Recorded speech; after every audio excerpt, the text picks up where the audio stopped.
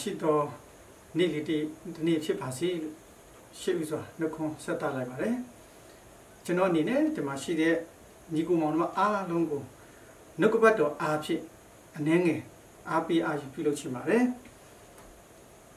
ကျွန်တော်အနေနဲ့အားပေးအားယူပြုလုပ်ချင်တဲ့ခေါင်းစဉ်လေးကတော့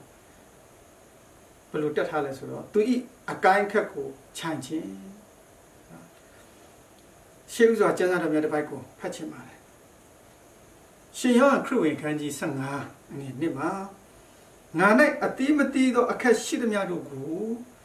ခုတ်ပစ်တော်မူ၏အတိတိသောအခက်ရှိသမျှတို့ကိုတာ၍တီးစေခြင်းကတုတ်တင်ရှင်းလင်းတော်မူ၏ဒီကျမ်းချက်လေးကကျွန်တော်ကြည့်တဲ့အခါမှာရိုးရိုးလေးပါเนาะကျွန်တော်ဖတ်ပြီးတော့အားအလုံးနားလည်နိုင်တဲ့ကျမ်းချက်လေးပဲဖြစ်ပါတယ်ဒီမှာဗာပြောထားလဲဆိုရင် ငါ၌အတိမတိသောအခက်ရှိသမျှတို့ကို ခုတ်ပစ်တော်မူမယ်ဒါယနေ့ကျွန်တော်တို့ခရိယန်တွေကိုဘုရားရှင်ကပြောတဲ့စကားလေးပဲဖြစ်ပါတယ်ယနေ့ကျွန်တော်ခရိယန်ဘဝအသက်တာမှာဘုရားခင်ဘုန်းတော်နာမတော်ကိုမထင်ရှားဘူးဆိုရင်ဘုရားသခင်ကသူ့ရဲ့ဘုန်းတော်နာမတော်ထင်ရှားဖို့အတွက်ယနေ့ကျွန်တော်တို့ကိုပြုပြင်ရမယ်အပိုင်းကိုဖော်ပြတဲ့အကြောင်းရင်းလေးပဲဖြစ်ပါတယ်။ ဒါကြောင့်မလို့ယနေ့ကျွန်တော်တို့ရဲ့ဘဝအသက်တာမှာဘုရားသခင်ကရှင်မသက်ခရစ်ယာန်ခန်းကြီး9ငယ်73 74မှာပြောသလိုပဲသင်တို့ဒီဤလောက၏အလင်းဤလောကဤစာယနေ့ကျွန်တော်ဘုရားသခင်ဘုန်းတော်ကိုထင်ရှားဖို့အတွက်ဘုရားသခင်ကအလိုတော်ရှိပါတယ်။ဒါကြောင့်လို့ယနေ့ကျွန်တော်တို့ဘဝအသက်တာမှာအသီးသီးဖို့အတွက်မလိုအပ်တဲ့အရာတွေကိုဆိုရင်ယနေ့ကျွန်တော်တို့ရဲ့ဥယျင်ပိုင်ရှင်ဖြစ်တဲ့ဘုရားရှင်က ယနေ့လိုအပ်တဲ့အကိုင်းခက်တွေကိုသူခုတ်ပြမှာဖြစ်ပါတယ်။ခုတ်မှသာလေနော်အကိုင်းခက်တွေပါကောင်းတဲ့အသီးတွေကိုတီးလာနိုင်မှာဖြစ်ပါတယ်။ဒါကြောင့်မလို့ဥပမာအားဖြင့်ပေါ့နော်ကျွန်တော်တို့ဒီမှာတစ်ပေခန်းကြီးတင့်ငယ်ခုနှစ်မှာဖော်ပြထားတဲ့အရာဘလို့ပြောထားလဲဆိုတော့နော်ရွှေကိုနော်စစ်ကြောစုံစမ်းခြင်းလိုမျိုးပဲယနေ့ကျွန်တော်တို့ယုံကြည်ခြင်းနေကျွန်တော်ဘဝတက်တာမှာအသီးသီးလာဖို့အတွက်ကျွန်တော်ဘဝကိုဖျားကြ စစ်ကြောမယ်ဆိုတဲ့အရာကိုကျွန်တော်တွေ့ရပါတယ်။နော်ရွှေကိုမီးနဲ့စစ်တကယ်တော့ကျွန်တော်တို့ရဲ့ဘဝအသက်တာမှာမလိုအပ်တဲ့အရာဖျားရှင်ကဖယ်ရှားလာတဲ့အခါမှာခုနရွှေရမီးနဲ့သူ့ပူဇော်ပူမီးနဲ့သူ့အပူပေးပြီးတော့ကျွန်တော်တို့ကြိုလိုက်တဲ့အခါမှာသူ့ရဲ့အယောင်တွေးရဆိုပို့ပြီးတော့တောက်ပြောင်လာတွေ့ရပါတယ်။ဒါကြောင့်လို့ယနေ့ကျွန်တော်တို့ခရိယန်ဘွားအသက်တာမှာလဲခုနဖရာသခင်အတွက် အသီးမသီးနိုင်တဲ့အရာတွေရှိမယ်ဆိုယနေ့ဖရာသခင်ကဒီအသီးမသီးနိုင်တဲ့အရာတွေကိုဖယ်ရှားဖို့အတွက်ယနေ့ဖရာသခင်ကကျွန်တော်တို့ကိုပြုလုပ်ပေးမှာဖြစ်ပါတယ်။ဒါကြောင့်လို့ယနေ့ဒီဖရာသခင်ပြုလုပ်ဖို့အတွက်ကယနေ့ကျွန်တော်တို့ကအပြုလုပ်ခံဖို့အတွက်အရေးကြီးပါတယ်เนาะဒါကြောင့်လို့ကျွန်တော်တချင်းလေးလည်းရှိပါတယ်เนาะအလိုတော်ရှိရပြုတော်မူပါเนาะကိုရောရှင်သာအိုးထင်းကျွန်ုပ်ဒီအိုးမြေဖြစ်ပါတယ်ဒါမို့ခရစ်တော်ဖခင်ကကျွန်တော်တို့ရဲ့ ပဲ့ကန်ရှင်ကျွန်တော်တို့ကိုထိန်းတဲ့အရှင်ဖြစ်ပါတယ်ဒါမို့အိုးတလုံးဟာလပ်ပကောင်းမှုဖို့အတွက်အိုးထင်းရကောင်းမှုစွာပြုပြင်ပေးတယ်လို့ယနေ့အိုးမြေဖြစ်တဲ့ကျွန်တော်တို့ကလည်းအိုးထင်းရဲ့ပြုပြင်ပြောင်းလဲမှုကိုကျွန်တော်တို့ခံယူဖို့အတွက်လိုအပ်ပါတယ်အိုးထင်းရဲ့စကားကိုကျွန်တော်တို့နားထောင်ဖို့လိုအပ်ပါတယ်ဒါမှသာလေနော်အတီးတီးတော့ဘုရားသခင်ရဲ့တာရမီတွေဖြစ်လာမှာ ဒါကြောင့်မလို့ယနေ့ကျွန်တော်တို့အတီးတီးနိုင်ဖို့အတွက်ကယနေ့ဘုရားသခင်ကကျွန်တော်ရဲ့အထဲမှာရှိတဲ့အတ္တတွေငါဆိုတဲ့အရာတွေမကောင်းတဲ့အရာတွေကိုဘုရားသခင်ကယနေ့ဖယ်ရှားပေးမှာဖြစ်ပါတယ်ဒီအရာတွေကိုဖယ်ရှားဖို့အတွက်ကယနေ့ကျွန်တော်တို့ဒီဘုရားရဲ့ခြေတော်ရင်းမှာတိုးဝင်ချိကပ်ပြီးတော့ဖခင်ရဲ့ပြုပြင်ခြင်းပြောင်းလဲခြင်းကိုကျွန်တော်တို့ခံယူမယ်ကျမတို့ခံယူမယ်ဆိုရင်ကျွန်တော်ကျမတို့ဟာတကယ်ဝေစာနေတော့အတီးတွေကိုတီးနိုင်မှာဖြစ်ပါတယ် เนาะဒါကြောင့်မလို့ချစ်တော်ကြီးကိုမောင်တော်အပေါင်းတို့ကျွန်တော်တို့မှာရှိတဲ့မကိုင်းမကောင်းတဲ့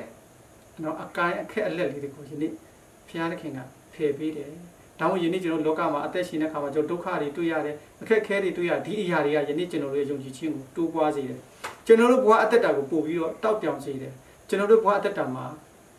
ယုံကြည်ခြင်းတိုးပွားလာတာမြတ်ဖရားတဲ့ပို့ပြီးတော့နီးကပ်လာပြီးယနေ့ကျွန်တော်တို့ရဲ့အလင်းတရားတွေကိုသူများမြင်တွေ့နိုင်မှာ ဖြစ်ပါတယ်ဒါကြောင့်ဒီမှာရှိတော့တာမီရောက်စီတိုင်း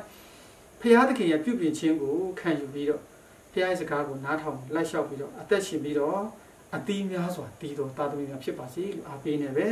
နိကုံချုပ်ပါတယ်အားလုံးပုံမှာဖရာအထူးကြွယ်ဝမြပြစွာကောင်းကြီးမင်္ဂလာဖရာပြတုံးလောင်းချပေးပါစေကျွန်တော်အနေနဲ့အခုချိန်မှာကျွန်တော်ဆုတောင်းမှာဖြစ်ပါတယ်ဆိုတော့ကျွန်တော်ဆုတောင်းပြီးဘုရားတော့ဒီနေ့ ကျောင်းသားနှစ်ယောက်နဲ့ကျောင်းသူလေးတစ်ယောက်အတွက်အထူးဆုတောင်းပေးမှာဖြစ်ပါတယ်ကျောင်းသားလေးကတော့ဒန်နီယယ်နဲ့ဆောအေဒီဖြစ်ပါတယ်ကျောင်းသူမကတော့နော်အဆဲမှုပဲဖြစ်ပါတယ်နော်ကျွန်ခဏလေးဥညွတ်ပြီးဆုတောင်းကြပါစို့အထက်ကောင်းကြီးပုံ၌တက်ရှင်၍သားသမီးတို့ကိုချစ်တော်မူသောဖဖျားကိုရရှင်ကျေးဇူးတော်သည်အလုံးမပင်ကြီးမားလာပါတယ်ကိုရရှင်သည်ယနေ့ကျွန်တော်တို့ကိုချစ်ပါတယ် ဤနေ့ကြားရခဲ့တည်င်းစကားအတိုင်းပဲကျွန်တော်တို့မှာရှိသောမကောင်းသောအခက်အလက်များအတိမတိနိုင်သောအရာများကိုကိုရရှင်သည်ခုတ်ပစ်ပြီးကျွန်တော်ကျမတို့ရဲ့ဘဝအသက်တာမှာအတိမတိနိုင်သောနေရာမှာအတိပြန်လဲတီးနိုင်ဖို့အတွက်ယနေ့ကိုရရှင်သည်ပြုလုပ်ပေးမှာဖြစ်ပါတယ်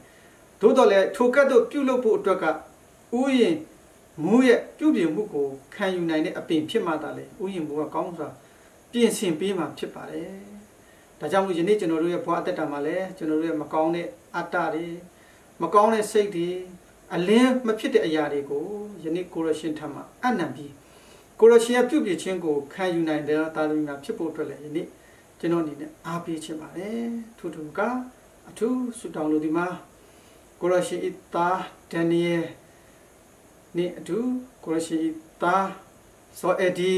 သူတို့နှစ်ဦးပေါ်မှာလည်းကိုရရှိကောင်းကြီးပြီးတော့မှာကျမ်းမာခြင်းပျော်ရွှင်ခြင်းညီတက်ခြင်းဝမ်းမြောက်ခြင်းနဲ့ပြည့်စုံကြရမှာကသူတို့နေပတ်သက်တော့သူတို့မိဘတွေညီကိုမောင်နှမတွေဆွေမျိုးသားချင်းတွေအားလုံးပေါ်မှာကောင်းကြီးပြီးတော့မှာသူတို့လည်းအကြောင်းတော်ကြီးမှာကြောင်းတက်လက်ရှိတယ်ကြောင်းပြီးဆုံးစွာကောင်းစွာတက်ရောက်အောင်မြင်နိုင်တဲ့သူတွေဖြစ်ဖို့လဲမာစာကောင်းကြီးပြီးတော့မှာသူတို့နိုင်လိုအပ်လက်ရှိတော့ငွေကြေးအဆဆအရာရာအားလုံးကြောင်းတက်တဲ့အခါမှာလဲဒီ wifi မှာအဆအဆဆရာအားလုံးစီပြီးချောင်းမှုရှိဖို့ကိုရရှိမာစာတော့ပါ ထို့တူမကကိုရရှိတမီးတော့ဆဲမှုအတွက်လည်းအထူးဆူတောင်းလို့တဲ့ကိုရရှိသူ့လည်းကောင်းကြီးပြီးတော့ပါသူလည်းတက်ဆိုင်တော့မိဘညီကောင်ကတော့အားလုံးပုံမှာကောင်းကြီးပြီးတော့ပါသူလည်းကြောင်းတက်လည်းရှိတယ်ကိုရရှိလိုအပ်တဲ့ရှိတော့ငွေကြေးမှာအဆတောင်းတက်ဒီခါမှာလည်း wifi စတဲ့ line connection အားလုံးဆက်ဆက်အဆင်ပြေချောင်းမှုရှိပြီးကောင်းမှုစွာဖြင့်ကြောင်းတက်နိုင်တော့ခွင့်ပေးတော့ပါကျောင်းသားနှစ်ဦးနဲ့ကျောင်းသူတူပေါ်မှာလည်းကိုရရှင်အထူးကျွေးရများကောင်းကြီးမင်္ဂလာဖျားသွန်းတော်ပေးကျောင်းတော်ကြီးမှာကျောင်းပြီးဆုံးတဲ့အထိ တရားအောင်မြင်ပြီးတော့ကျောင်းတော်ကြီးမှာပေးမဲ့ဘွဲများကိုလည်းရယူပြီးကိုရရှင်ဘုံတော်နာမှာထင်ရှားစေတော့တာနှစ်ဦးနဲ့တမီတူဖြစ်စေပါမည်အကြောင်းဒီနေ့ကိုရရှင်ပြန်ကြွလာတော့အခါမှာလည်းကျွန်တော်ကျမတို့အရောက်စီတိုင်းတို့တရားမှာပြည့်စုံခြင်းများကိုရရှင်ပြင်ဆင်ပြီးကောင်းကင်ရှင်မြို့တော်မှာဝေစားတော်ခွင့်ပေးပါမည်အကြောင်းခရစ်တော်ရဲ့နာမဖြင့်ဆုတောင်းပါတယ်ဖခင်အာမင်